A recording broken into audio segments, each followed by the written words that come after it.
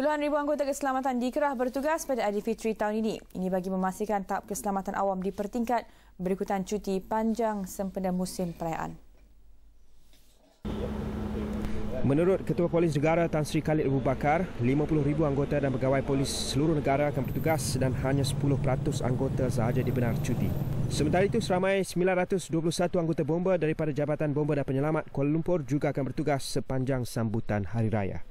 Pengarahnya, Harudin Rahman berkata, anggota yang bertugas di 17 balai bomba akan melakukan rondaan bagi meninjau kawasan berisiko tinggi kebakaran. Kebanyakan kejadian kebakaran yang berlaku pada musim perayaan disebabkan pertambahan aktiviti pada ketika itu berbanding hari biasa.